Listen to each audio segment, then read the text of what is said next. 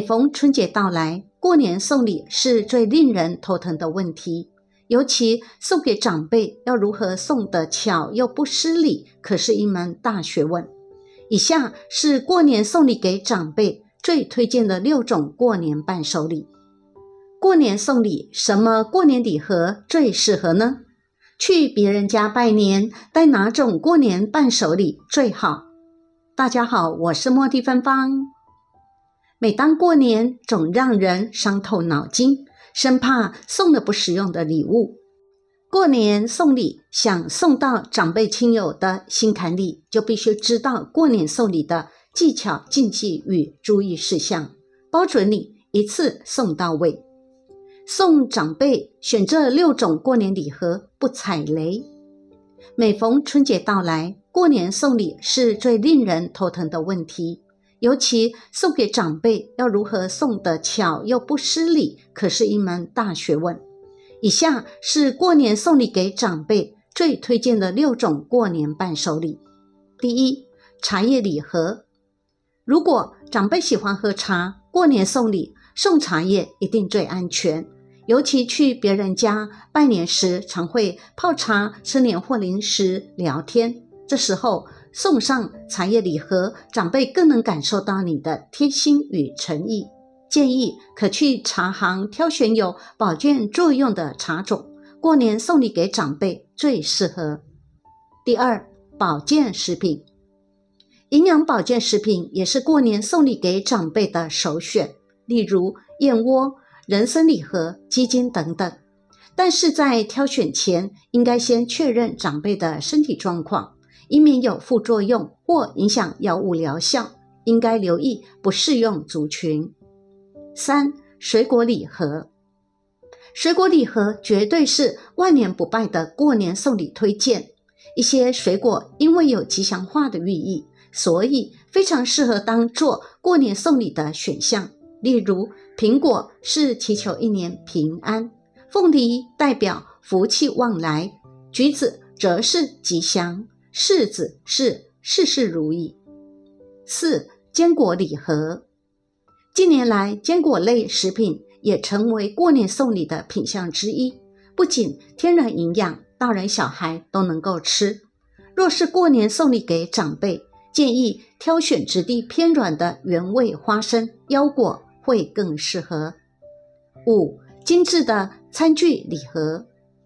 精致文创风格的餐具礼盒，实用又好看，有祝福含义的餐具，能够将满满的祝福送给对方，为餐桌增添美好滋味。六生肖礼盒，配合生肖年，挑选有创意又实用的生肖造型礼物，让收到的人会心一笑。别花钱找罪受，过年送礼是一大禁忌。过年送礼如果不实用就算了，若是误踩禁忌，可是赔了夫人又折兵。因此，过年送礼的十一大禁忌不可不知。第一，送钟有送终之意；二，送鞋有送他人上路或谐音有鞋的意思；三，送梨子李子，梨李是分离的谐音；四。送香氛蜡烛，蜡烛常用来祭祀亡者，有些人会介意。五送伞，伞有散的谐音。六送帽，长辈过世，晚辈要戴孝帽，因此送人帽子是禁忌。七送镜子，镜子容易打碎，代表不好的兆头。另有一说是镜子招鬼，有不祥的含义。八不要送生鲜食品。若是过年期间亲友长辈不开火，过年送礼选择生鲜食材，反而造成困扰。尤其是需要冷藏冷冻的肉类、海鲜食品，因为一旦在运送过程中解冻腐坏，反而让美意变笑话。九过年送礼不能送年糕、粽子。年糕虽然是过年必吃的，但绝对不能送。在传统习俗中，商家不能催贵包重，必须等别人送。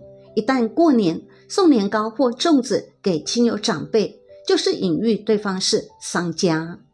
十，不要送对方特别钻研的品相。虽然说过年送礼要投其所好，但若是对方特别有钻研、专精的品相，还是必须谨慎一些。例如，长辈喜欢喝生焙茶，但却送了浅焙茶，送礼送的不到位呀。不仅送的人扼腕，收礼的人也尴尬。十一，不必太贵重，价钱适中。过年送礼讲究心意，太贵容易造成对方压力，因此价格适中最好。过年伴手礼三大注意事项：一、小心送到过期商品。因应过年送礼的需求，常有厂商推出食品保养品促销或出清的礼盒，购买时应该注意效期，避免对方收到时已经是过期品。二、送出前检查价格标签是否撕掉，无论是昂贵礼盒或便宜特价品，价格标签都要记得撕掉，否则非常失礼。三。太晚寄出，宅配大塞车。年前是宅配业者邮局业务最繁忙的阶段，为了让礼品能够顺利送达，应该提早寄出礼品，以免在物流卡关，无法在年节前送达到对方手中。还有几样东西也是送礼禁忌呢？有十二种东西不能送人哦，送错了会闯大祸。第一。不能送钱包。凡是送了钱包的朋友，你想想，是否此后财运不佳，或者漏财严重，或者该收的钱财不能及时收回呢？提醒你要谨慎送钱包。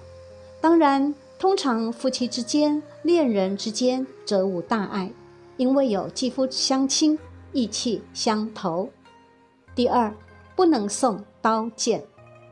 有些朋友喜欢给别人送桃花剑，好让别人将烂桃花斩掉，结果反而自己的桃花劫一大把。也有些朋友看到亲朋好友搬家或者结婚等喜事，于是呢就买了一套厨房用的刀刀叉叉送给别人。奇怪的是，此后自己反而运势一落千丈。记住，谨慎送刀剑哦。另外，别人送给你刀剑，你也要谨慎收纳。第三，不能送财神。有朋友开店或者开业，亲朋好友会给他送财神爷。其实从胃理学角度来看，要谨慎送财神爷，否则很可能你的财运会遭到停滞不前。当然，接受的一方也要注意。通常神佛是要自己亲自去寺庙请的，可不能随意请，也不能随意接受别人送的财神爷，否则送方和接收方都可能会导致财运不佳等问题。第四，不能送鱼缸。有朋友请人看屋宅风水，奇怪的是，为何自打有了鱼缸后就财运不济呢？原来他有所不知。鱼缸类似财神爷，也是不能随意送和随意接受的。更何况有些人命里忌讳养鱼，因此鱼缸实在不能随意送往。摆放鱼缸首先要适合自己，然后跟鱼缸的形状、摆放的位置、高度、养鱼的多少、种类、数量、颜色等等均有关系。第五，不能送钟表。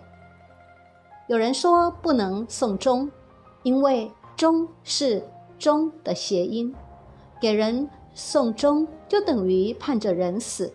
而手表也属于钟科，你看多少贪官是因为戴上行贿者的名牌手表而落马的，甚至断送了生命的呀。第六，不能送鞋子，鞋是鞋的谐音，故此。凡给人送鞋，但不包括送给亲属的情形，就等于送邪气给别人，所以很有可能不久就会与对方失去了联系或友谊。第七，不能送伞。伞是伞的谐音，所以伞不能作为礼品送人，不包括雨中送爱心伞的情形。若好朋友之间将伞作为礼物相送，将意味着日后必将分手或离散。第八，不能送梨子或李子。梨子和李子是梨的谐音。送人这两样水果，将意味着日后有分离的危险。第九，不能送蜡烛。蜡烛是祭祀亡人用的，所以不能作为礼物送人。十，不能送布娃娃。布娃娃和人状的东西，例如面具等，都属于小人，久放家中容易招邪灵，给家里带来不安。十一。不能送人来历不明的石头和古董。石头和古董属于容易招邪灵、附着其上的东西。有些看似观赏石和价值不菲的古董，但是上面其实已经附着邪灵了，送往都不吉利。十二，不能送枕头。枕头是每个人晚上的必需品。